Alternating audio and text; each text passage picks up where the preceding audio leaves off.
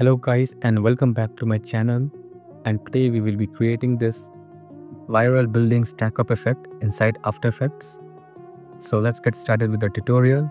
So I'm inside After Effects and this is the clip that I will be using. I downloaded it from Pexels and then the first step that I will do is duplicate my clip and then I will head over to the pen tool section and I will start masking out the portion of the clip which I want it to be remain so let's mask it out. Okay. Now let's solo out this layer. And then I will go to effects and presets and I will add a threshold effect. This effect is not compulsory to do it. I if you are fine with this just the masking and feathering it out that's fine. I will tweak the threshold settings. Okay so now I will duplicate my main clip again and let's rename it to matte and then the middle clip which I have main clip to I will change the track matte to matte layer. And for that I will turn off my threshold layer. Let's mask out the feather. You should do it before I just forgot so I'm doing it later. Now in my project panel I already have a clean plate I did this using Adobe Firefly. So I will just drag and drop it below the layer and above the main clip. Now for now I will just turn it off and then turn it on to see the difference. Now I will duplicate my main clip again, the bottom main clip and then just drag it over at the top and I will rename it to building blocks because this is the layer which we will be masking out in masking out our subject that is the building which we have in the middle. So let's select our pen tool and start masking out. It's a bit lengthy process because it depends on how many blocks you want for your clip. I will just fast forward this step to save the time.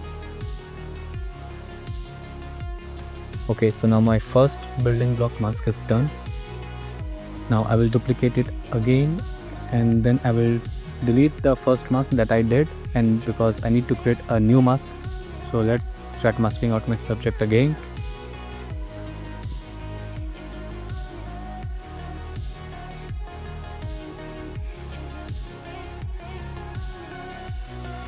And then I will repeat this process. I will duplicate it again and delete my mask layer. And for this to get the more accurate masking. I will decrease the opacity a bit. And also while you mask out the subject make sure that uh, there is no gap left when the building comes in. As you can see that I am keeping my mask path below my building block 2 so that it overlaps it when it falls down and there's no gap left. So I already did to save time. Let me show you how many blocks I have so these are the blocks that I have done masking out. The next step that we will be doing is pre-comping all our building blocks. And make sure to pre-comp it individually because we want control for each block. And once you are done with the pre-comp I will select all my pre-comp layer and just drag it below the main city clip 2 now I will open up the pre-comp and then since it's a 2D image and I want to make it 3D while it's falling so I need to create a shape. So with the help of a pen tool I will create a rough shape. It will give a good depth while when it's falling. Make sure the shape layer should be below the building block.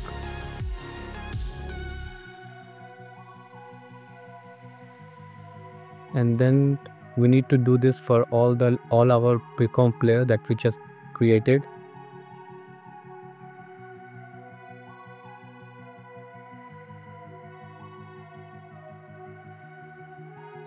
I'm just fast forwarding this method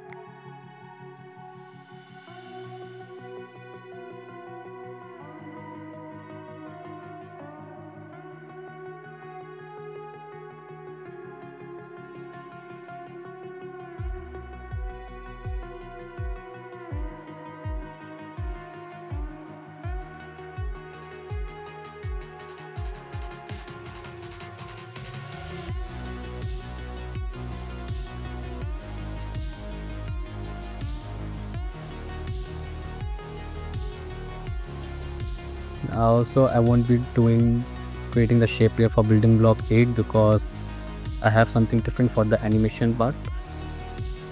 And also now I will rearrange all my building blocks. Now the final part that we will be doing is animating our position. So let's hit the keyframe of our position properties and then move few frames forward and create the keyframe again. So this is the position that I want my building to come so I will head back to my first keyframe that I created and then animate the position and make sure to enable the motion blur. Okay now let's select all both the keyframes and hit F9 for easy ease. And then under the edit speed graph section I will smooth out the animation. So now you can see the animation is very smooth now. So now let's move on to our next block. So for this I will open up the position property and hit a keyframe. I want this block to come from the top.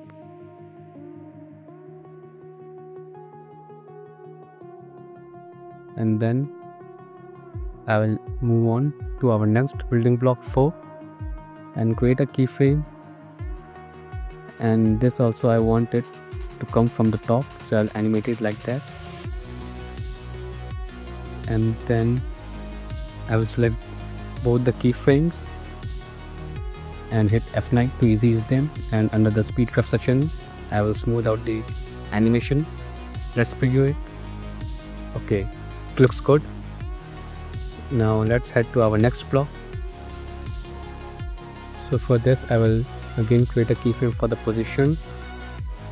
Now let's head back to our first keyframe. And also I will be creating a keyframe for opacity say it depends on all the variations you want and then I will hit F9 and smooth out the animation in under the speed graph section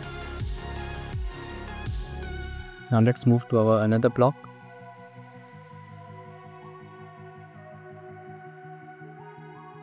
Okay, so let's create a keyframe here. Let's move few frames forward and then I create another keyframe. And then I will move back to my first keyframe and then start animating it. And for this, I will animate the rotation properties too. So click on the keyframe button and let's animate our rotation property.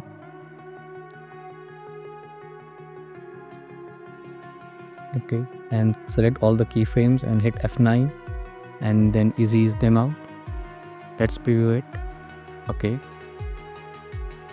so I think it's good and we can move on with our next animation which is building block 7 and for this again I'll animate this property.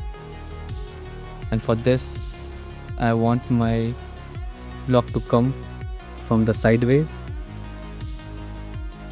So I'll just animate it like that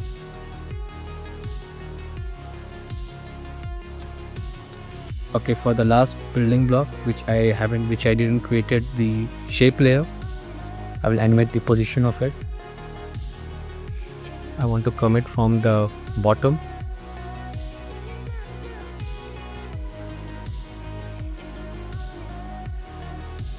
And I will trim down this building block.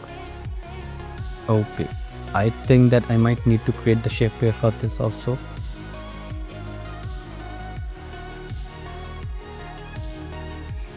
I think we are done with our animation part.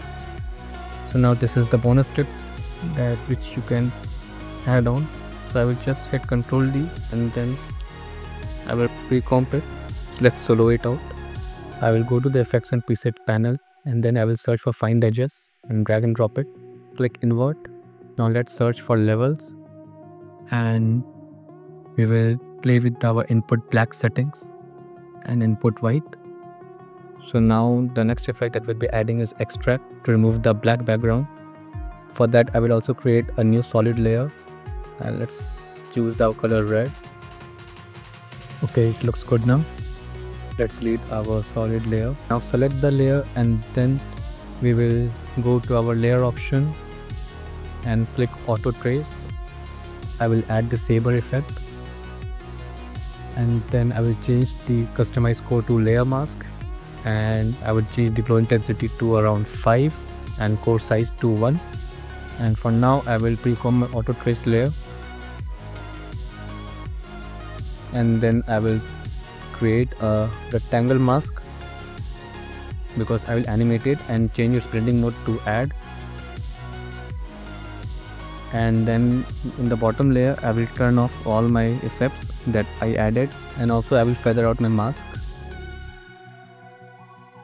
and let's animate our mask path. So create a keyframe. Move few frames forward. And let's animate it. Building stack up effect is ready. I hope you guys enjoyed this tutorial. Make sure to subscribe to my channel and like this video. Have a nice day and thank you so much